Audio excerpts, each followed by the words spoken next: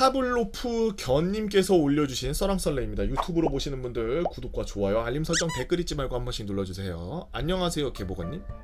개보건님 썰왕썰래를 항상 화장실에서 듣다 보니 이제는 썰왕썰래 인트로 나팔 소리만 들려도 똥꼬가 옴찔거리는 파블로프의 개가 돼버린 구독자입니다. 오늘도 회사 화장실에서 이어폰을 꽂고 개보건님 썰 중에서 군대에서 초자연 현상 경험한 썰을 듣다가 생각난 사건이 있습니다. 진짜 신기한 일이었는데 이거. 개보건님도 군대에서 나무를 베던 도중에 식물들이 마치 살아있는 것처럼 움직이고 소통하는 듯한 미스터리한 경험을 하셨는데요. 저도 군대에서 완전 똑같지는 않지만 신기한 경험이 있어서 글로 한번 남겨봅니다. 저는 2012년 육군으로 입대해 경기도 후방에서 근무했습니다. 제가 있던 중대는 30명, 40명 규모의 소규모 중대라서 주간 초병 근무는 매일, 야간 초병 근무는 일주일에 6일 나가는 그런 군 생활을 했죠. 사건을 겪은 날은 제가 산꺽을 갓 달았을 때였습니다. 그날도 어김없이 야간 근무가 있었죠. 평소에는 보통은 한 개의 초소만 담당하지만 훈련 상황이거나 상황이 터질 때 평소에 쓰지 않는 초소를 추가로 나갔는데요. 익숙하게 잔구리와 총기를 챙겼지만 그날은 상황이 걸려 있던지라 평소에 나가던 초소가 아닌 고가 4초소로 향하게 되었습니다. 이 고가 4초소는 평소에는 쓰지 않다 보니 분위기도 의신연스럽고 선임들로부터 전해 내려오는 미스터리한 경험담도 있는 곳이었습니다. 저도 실제로 겪은 일을 짧게 한번 풀고 넘어갈게요. 초소 앞에 있는 철조망에 침입을 감지하는 깡통들을 달아 놓았는데 바람 한 점 불지 않는 새벽 다닥다닥 붙어있는 깡통 중에 한 개만 미친듯이 다닥다닥 하면서 움직이고 있는 걸 목격했습니다. 그러다가 후방 근무자들이 군화 소리가 저벅저벅 멀리서 들리니까 갑자기 멈추더라고요. 아니 이건 진짜로 밑에서 땅 파고 있는 거 아니야? 간첩이? 깡통설은 워낙 뻔한 레퍼토리라 이야기를 자세히 풀지는 않겠습니다. 대신 지금부터 말씀드리는 이야기는 제가 겪은 현상을 머릿속으로 상상하며 들으시면 굉장히 오싹하실 수 있다라는 거 말씀드리면서 상상을 꼭 해보시길 바랍니다. 그날은 새벽 2시 근무였지만 후임 근무자가 없이 저와 부사수가 첫 번째 근무자였기 때문에 별도의 수화를 하지 않고 바로 초소로 투입됐어요. 고가 초소이기 때문에 곧장 계단을 올라 2층으로 올라갔고 2층 눈높이 2m 정도 앞에 철조망을 비추는 기둥형 CCTV가 있었습니다. 고가 초소가 있고 앞에 이렇게 CCTV가 있고 그 앞에 철, 철조망이 있대요. 그 CCTV 뒤에서 철조망을 감시하는 역할을 하나 봐요. 저는 아무 생각 없이 위 그림에서 보이는 CCTV에 시선을 두고 얼마 전 휴가를 다녀온 부사수 후임이 홍대에서 헌팅을 몇 번 했고 어떻게 놀았고 누가 봐도 개구라인 소설을 들어주느라 한 시간 정도를 흘려보내고 있었죠. 그러다가 어느 순간 저는 이상한 위화감을 느꼈습니다. 그때부터 저는 제 시선에 뭐가 이상한 건지 파악하려고 노력하기 시작했죠. 위의 그림처럼 제 눈높이 바로 앞에 있던 CCTV에는 기둥부터 꼭대기까지 덩굴 식물이 감겨 올라가 있는 상태였는데요. 덩굴 식물의 가장 앞대가리 부분, 앞대가리 부분 여기죠 끝에 덩굴 식물이 올라가서 더 이상 감겨 올라갈 자리가 없었습니다. 제가 이상하다고 느낀 건그 덩굴의 앞부분이 마치 뱀의 대가리가 사냥감을 찾는 것처럼 흔들흔들 거리고 있었던 것 때문이었어요. 덩굴 식물들이 천천히 움직이면서 가마 올라갈 자리를 찾는 건 이미 알고 있었습니다. 하지만 제가 본 그것의 머리의 움직임은 눈에 보일 정도의 속도로 빠르게 움직이고 있었죠. 바람이 불던 날이면 이상하지 않았겠죠. 하지만 그날은 나무까지는커녕 나뭇잎도 흔들리지 않는 바람이 없는 날. 저는 그 덩쿨의 머리가 이상하게 움직이는 걸 10초 정도 바라보다가 신기하기도 하고 무섭기도 한 마음에 한창 자신의 홍대썰 구라를 늘어놓던 후임을 쳤습니다.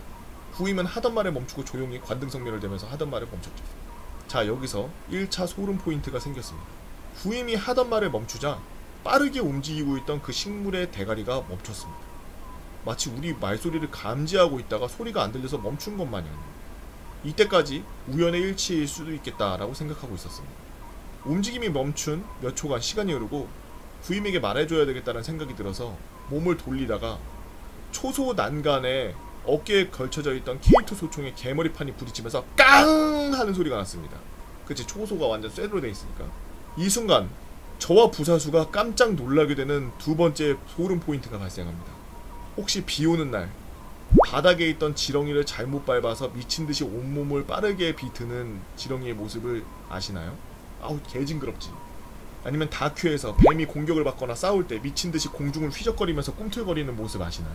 어우 소름 돋아. 어, 어 알아요. 어. CCTV 꼭대기에 달려서 천천히 움직이고 있던 그 덩굴 식물의 머리가 마치 너니 거기 있구나! 라는 것처럼 미친 듯이 빠른 속도로 꿈틀거리면서 움직이기 시작했습니다. 아우 아우 징그러. 어 뭐야?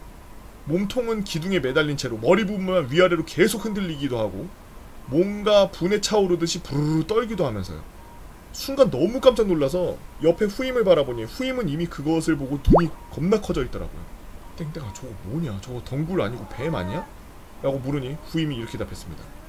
근데 사면님 사실 저도 흔들리는 거 신기해서 보고 있었습니다. 초소 올라오자마자 흔들거리고 있길래 새끼뱀인가 하고 자세히 봤는데 저거 분명 그냥 풀입니다. 그 순간에도 그것의 머리는 빠른 속도로 계속 흔들리고 있었습니다. 얼마나 빠른 속도였냐면 저렇게 빠르게 흔들리면 기둥에서 확 풀려서 그 반동으로 이 초소까지 넘어오지 않을까 두려움이 들 정도의 빠르기였죠. 저도 후임도 그 순간 엄청난 공포를 느꼈겠지만 남자가 돼서 고작 식물 하나 보고 무섭다고 하는 게 쪽팔려서 그랬는지는 몰라도 의연한 척 장난 섞인 욕설을 그 식물에게 날렸던 기억이 나네요. 하지만 이미 저와 후임의 목소리에는 무서움이 가득했었죠.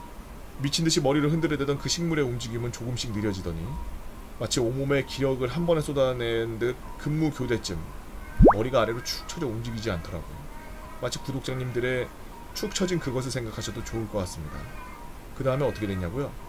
후번 근무자는 훈련 상황 시에 근무 지원을 나오는 다른 부대 사람이었기 때문에 별말 하지 않았습니다. 며칠이 지나 배수로 작업을 하러 대낮에 그 초소에 가봤을 때는 예초 작업을 했는지 기둥이 감겨있던 그 덩굴은 주변의 잡초와 함께 깔끔하게 잘려버려 있는 상태였죠. 과연 그 식물의 정체는 무엇이었을까요? 제가 알지 못하는 동물이 있었을까요? 아니면 덩굴 식물이라면 의뢰 새벽마다 그렇게 지랄을 하는 걸까요? 그때 그게 무엇이었던지 제 눈 바로 앞에서 보고 느꼈던 섬뜩함은 전역하고 7년이 지난 지금도 생생하게 소름 돋게 남아있습니다. 믿으시기 어려웠겠지만 밤나무들이 밤송이 어택을 받았던 개보건님이라면 믿어주지 않을까 하는 마음에 작성해봤습니다. 이 썰이 반응이 좋다면 부대 바로 옆에 있던 사이비 종교 농장 관찰 썰 폭풍 쏟아지던 날 산비탈 배수구에다가 산사태에 휘말린 썰 등 한번 풀어보도록 하겠습니다. 끝까지 읽어주셔서 감사합니다. 라고 파울루프의 견님께서 재밌는 글 올려주셨네요. 감사히 잘 읽었습니다. 어, 제가 올렸던 썰 한번 보시는 거 추천드려요. 제가 예전에 이제 교장 만든다고 그 행복안하고 막 이제 다 와가지고 간부들 와서 막 이제 톱으로 갔다가 나무 썰으라 그래가지고 살아있는 나무들 썰 때였거든. 그때 일어났던 그 얘기를 올렸던 썰인데요. 군대에서 초자연 현상 경험한 썰.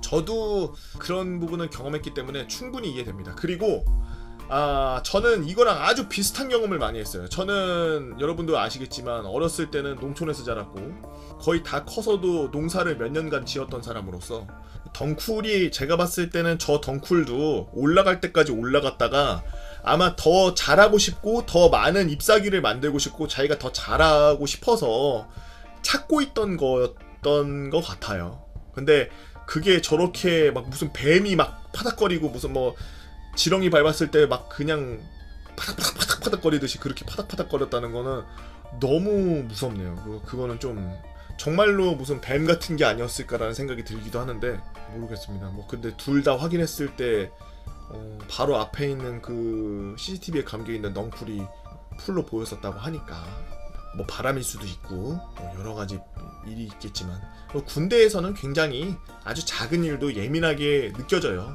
그래서 그 밤에 심심하게 하면서 근무를 세우는 거고요.